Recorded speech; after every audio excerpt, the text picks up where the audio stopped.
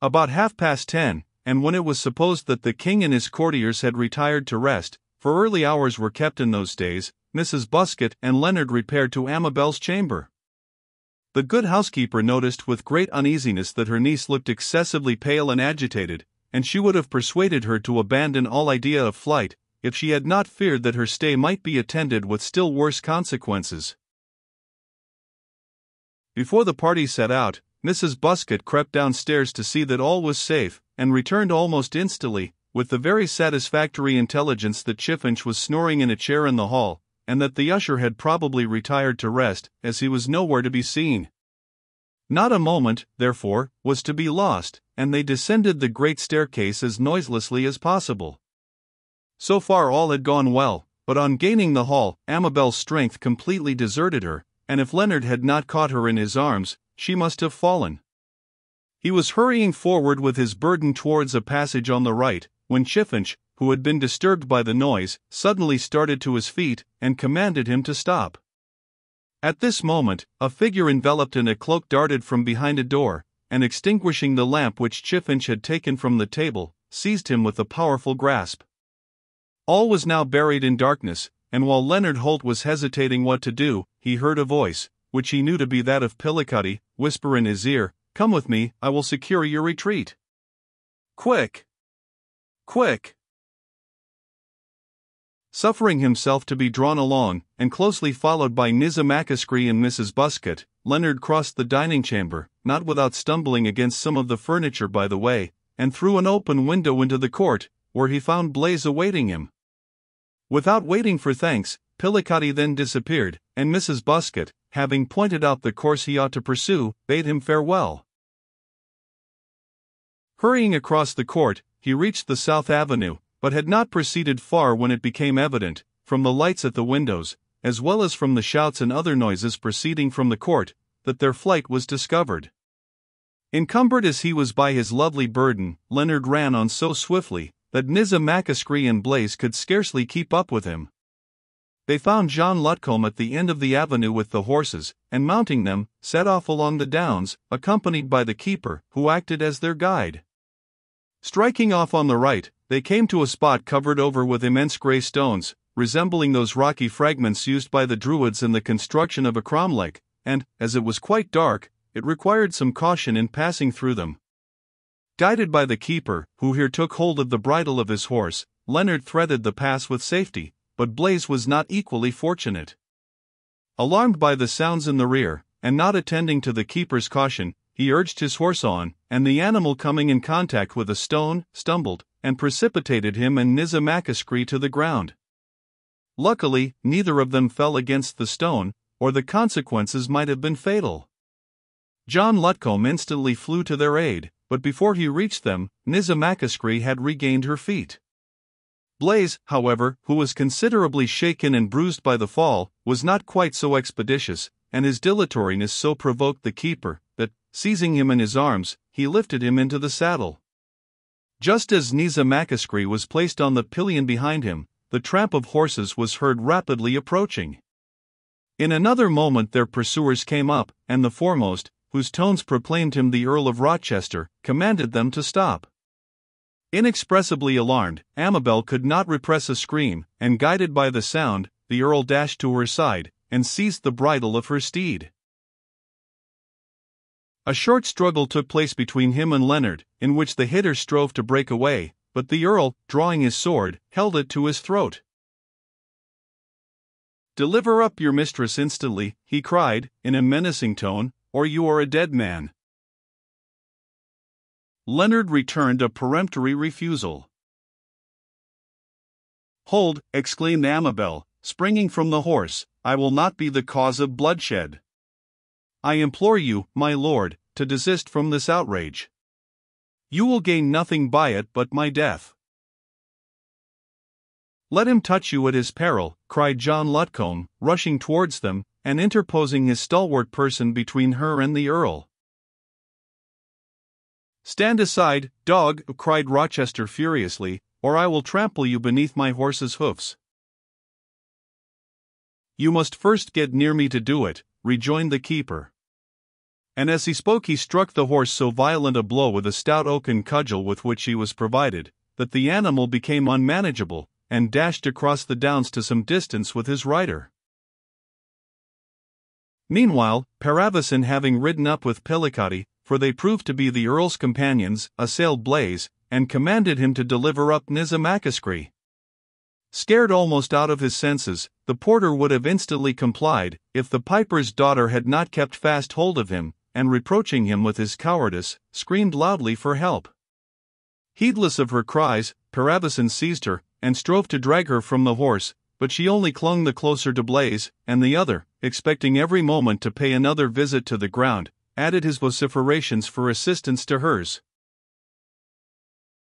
Leave go your hold, he cried, to Pillichody, who had seized him on the other side by the collar. Leave go, I say, or you will rend my jerkin asunder. What are you doing here? I thought you were to help us to escape. So I have done, rejoined Pillichody, bursting into a loud laugh, and I am now helping to catch you again. What a blind buzzard you must be not to perceive the net spread for you. Deliver up Nizza Macascree without more ado, or, by all the fiends, I will pay you off for your dastardly assault upon me this morning. I cannot deliver her up, cried Blaise, she sticks to me as fast as a burr. I shall be torn asunder between you. Help! Help!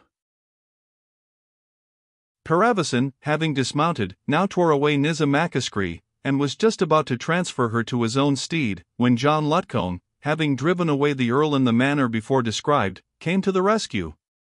One blow from his cudgel stretched the knight on the sod, and liberated Nizza Macascree, who instantly flew to her preserver. Finding how matters stood, and that he was likely to be well backed, Blaise plucked up his courage, and grappled with Pillichody. In the struggle, they both tumbled to the ground. The keeper rushed towards them, and seizing Pillichody, began to belabor him soundly. In vain the bully implored mercy. He underwent a severe chastisement, and Blaise added a few kicks to the shower of blows proceeding from the keeper, crying, as he dealt them, Who is the buzzard now, I should like to know. By this time, Parravicin had regained his legs, and the Earl of Rochester having forced back his steed, both drew their swords, and, burning for vengeance, prepared to renew the charge. The affair might have assumed a serious aspect, if it had not chanced that at this juncture lights were seen hurrying along the avenue, and the next moment, a large party issued from it. It is the king, cried Rochester. What is to be done? Our prey must be abandoned, rejoined Parravicin, it will never do to be caught here. With this he sprang upon his steed, and disappeared across the downs with the Earl. John Lutcombe, on perceiving the approach of the torchbearers, instantly abandoned Pillichody, and assisting Blaise to the saddle, placed Nizza behind him. Leonard, likewise, who had dismounted to support Amabel, replaced her in the pillion, and in a few seconds the party were in motion. Pillichody, who was the only person now left, did not care to wait for the king's arrival, but snatching the bridle of his steed, which was quietly grazing at a little distance, mounted him, and galloped off in the direction which he fancied had been taken by the earl and his companion. Guided by the keeper, who ran beside them, the fugitives proceeded for a couple of miles at a rapid pace over the downs, when, it not appearing that they were followed, John Lutcombe halted for a moment to recover breath. The fresh air had in some degree revived Amabel, and the circumstance of their providential deliverance raised the spirits of the whole party. Soon after this, they reached the ridge of the downs, the magnificent view from which was completely hidden by the shades of night, and, tracking the old Roman road for about a mile, descended the steep hill in the direction of the blowing stone. Skirting a thick grove of trees, they presently came to a gate, which the keeper opened, and led them through an orchard towards what appeared to be in the gloom a moderately sized and comfortable habitation. The owner of this house, Mrs. Compton, observed John Lutcombe to Amabel, is a widow, and the kindest lady in Berkshire. A message has been sent by your aunt to beg her to afford you an asylum for a few days, and I will answer for it you will be hospitably received. As he spoke, the loud barking of a dog was heard, and an old gray headed butler was seen advancing towards them with a lantern in his hand. At the same time, a groom issued from the stable on the right, accompanied by the dog in question, and, hastening towards them, assisted them to dismount. The dog seemed to recognize the keeper, and leaped upon him, licked his hand, and exhibited other symptoms of delight. What, Ringwood, cried the keeper, patting his head, dost thou know thy old master again?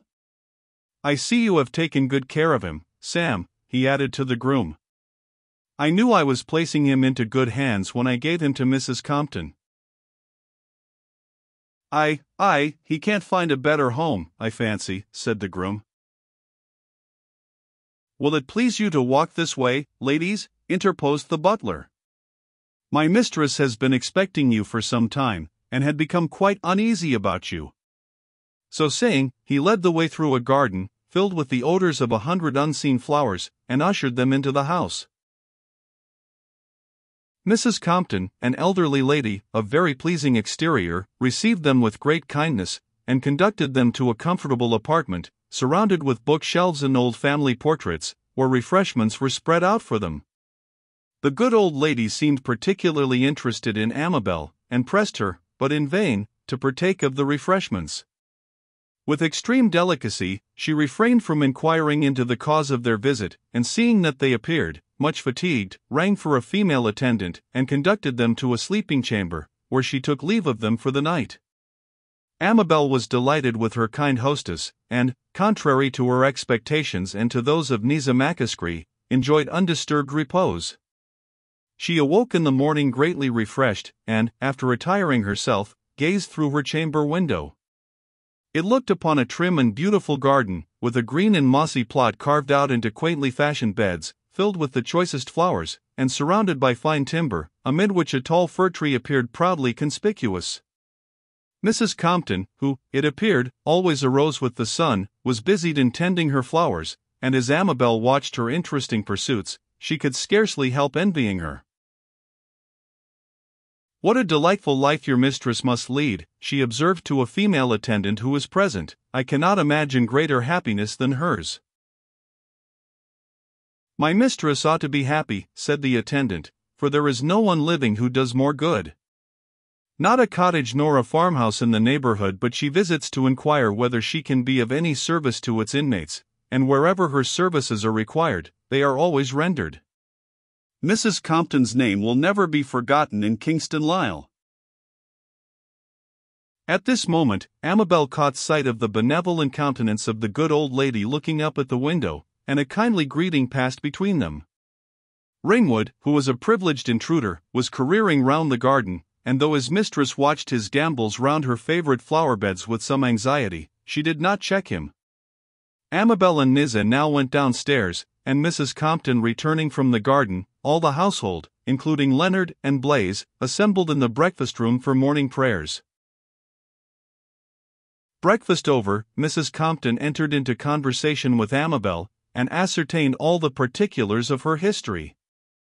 She was greatly interested in it, but did not affect to conceal the anxiety it gave her. Yours is really a very dangerous position, she said, and I should be acting unfairly towards you if I told you otherwise. However, I will give you all the protection in my power, and I trust your retreat may not be discovered. Mrs. Compton's remark did not tend to dispel Amabel's uneasiness, and both she and Nizza Macascree passed a day of great disquietude. In the meantime, Leonard and Blaise were treated with great hospitality by the old butler in the servants' hall, and though the former was not without apprehension that their retreat might be discovered, he trusted, if it were so, to some fortunate chance to effect their escape.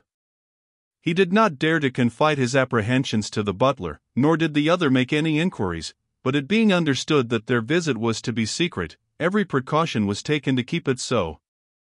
John Lutcombe had tarried no longer than enabled him to discuss a jug of ale, and then set out for Ashdown, promising to return on the following day, but he had not yet made his appearance.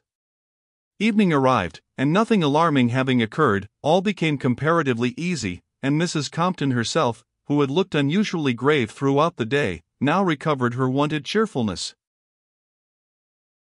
Their satisfaction, however, was not long afterwards disturbed by the arrival of a large train of horsemen at the gate, and a stately personage alighted, and walked at the head of a gallant train, towards the house.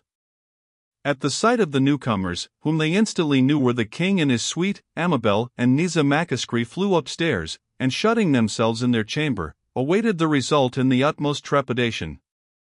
They were not kept long in suspense. Shortly after the king's arrival, Mrs. Compton herself knocked at the door, and in a tone of deep commiseration, informed Amabel that His Majesty desired to see her.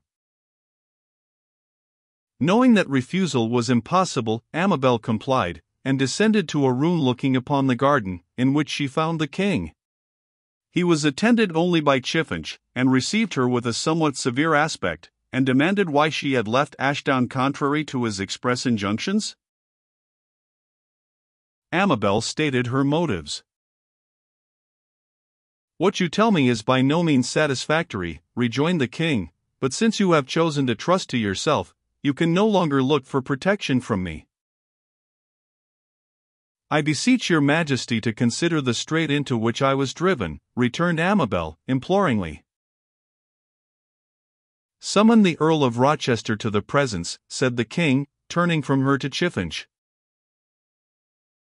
In pity, sire, cried Amabel, throwing herself at his feet. Let the injunction be obeyed, rejoined Charles, peremptorily. And the chief page departed.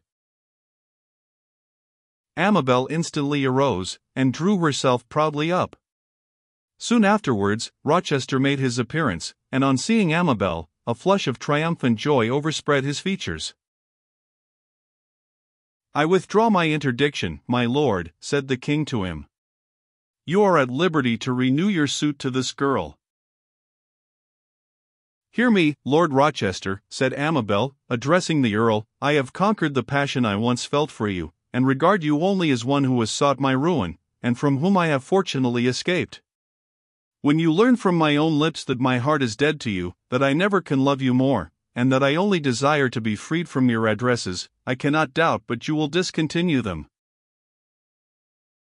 Your declaration only inflames me the more, lovely Amabel, replied the Earl, passionately.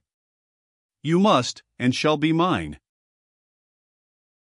Then my death will rest at your door, she rejoined. I will take my chance of that, rejoined the Earl, carelessly. Amabel then quitted the king's presence, and returned to her own chamber, where she found Nizza Macascree in a state of indescribable agitation. All has happened that I anticipated, said she to Nizza Macascree. The king will no longer protect me, and I am exposed to the persecutions of the Earl of Rochester, who is here. As she spoke, an usher entered, and informed Nizza Macascree that the king commanded her presence. The piper's daughter looked at Amabel with a glance of unutterable anguish. I fear you must go, said Amabel, but heaven will protect you. They then tenderly embraced each other, and Nizza Macascree departed with the usher. Some time having elapsed, and Nizza not returning, Amabel became seriously uneasy. Hearing a noise below, she looked forth from the window, and perceived the king and all his train departing. A terrible foreboding shot through her heart. She gazed anxiously after them, but could not perceive Nizza.